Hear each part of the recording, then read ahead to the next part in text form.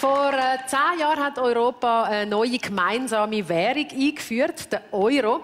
Als äh, wesentlich stabiler hat sich allerdings äh, eine andere Währung gezeigt, die wir hier in der Schweiz eingeführt haben. Eine, die nicht einen konkreten Wert hat, sondern die viel mehr denkt ist als Wertschätzung der Schweizerinnen und Schweizer, nämlich der Swiss Award.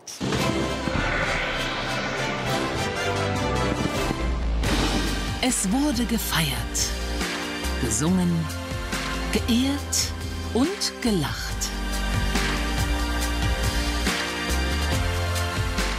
Wer Großes leistet, der bekommt ihn, den Swiss Award. Die Verleihung im Hallenstadion ist das Fernsehhighlight des Jahres und feiert mit der heutigen Show den 10. Geburtstag. Und sie war von Anfang an dabei.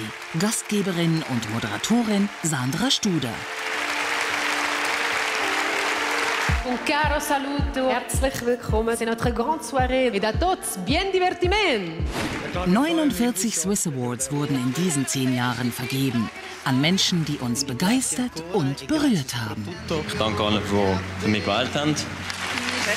Merci très très vivement. Danke vielmals. Dankeschön. Vielen Dank. Ganz herzlichen Dank. Großartige Künstler auf der Showbühne. Steve Lee und Gotthard, Laura Pausini,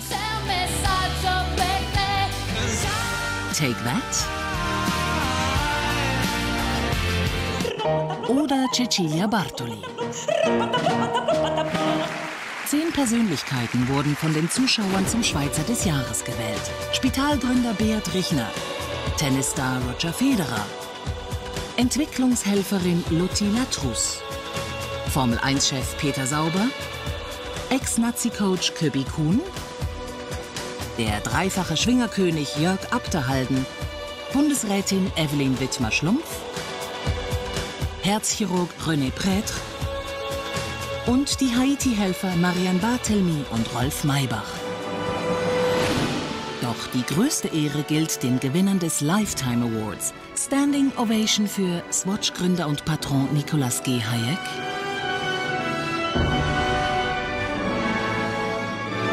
Für Kunstmaler Hans Erni.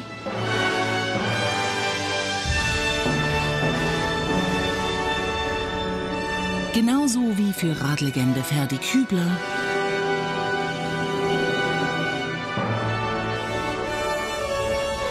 Und Kabarettist Emil Steinberger.